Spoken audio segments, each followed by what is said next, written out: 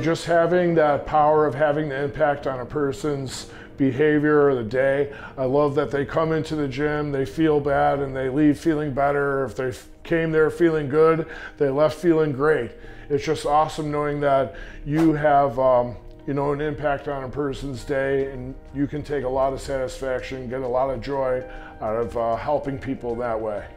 What also makes me really passionate about health and fitness is not only impacting that client's uh, day, but also impacting that client's life.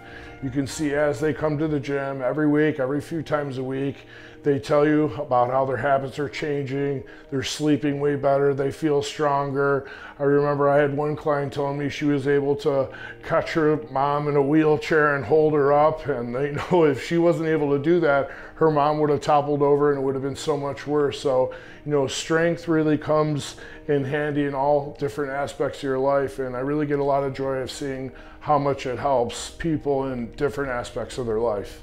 Lastly, why I really fell in love with health and fitness in the, in the first place is that I truly believe that strength training is the best medication, whether it's depression, anxiety, anything health related, you know, uh, diabetes, high blood pressure, heart disease. Strength training can help you in all those different aspects of your life if you just do them.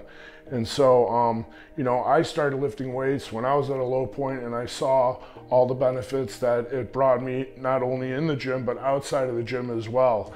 And that's what made me realize like, hey, I gotta do this for other people and that's what I wanna do for the rest of my life. Thanks for following along guys. If you guys love our content, make sure to like it and then subscribe if you're on YouTube, but then also follow us on Instagram. Peace out guys.